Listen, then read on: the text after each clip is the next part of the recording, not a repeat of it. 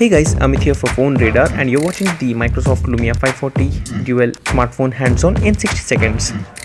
This phone is powered by Qualcomm Snapdragon 200 processor, 1.2 GHz quad core, along with 1 GB RAM, 8 GB of internal storage, and a micro SD card expansion up to 128 GB. It comes packed with the 8 megapixel rear camera with autofocus and 5 megapixel front-facing camera with wide-angle lens for selfies. There's a 2200 mAh of removable battery and the smartphone has 3G connectivity. The 15 GB of OneDrive storage is a part of the package and upon activating the auto upload feature you get additional 15 GB. The Lumia 540 dual SIM is upgradable to Windows 10 later this year although there is no guarantee on all the Windows 10 features to be available.